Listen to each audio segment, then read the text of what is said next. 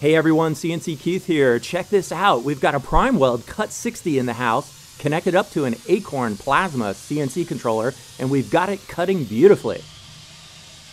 Previously, the Acorn Plasma system was only advertised as compatible with the Hypertherm plasma units, and we did a little R&D work and we figured out how to get the Cut 60 just cutting beautifully. So now the Cut 60 is also compatible with the Acorn Plasma CNC controller.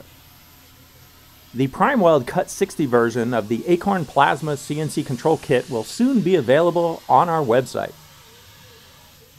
This development is exciting because now there is an affordable plasma cutter compatible with the high performance Centroid THC Plasma CNC control system.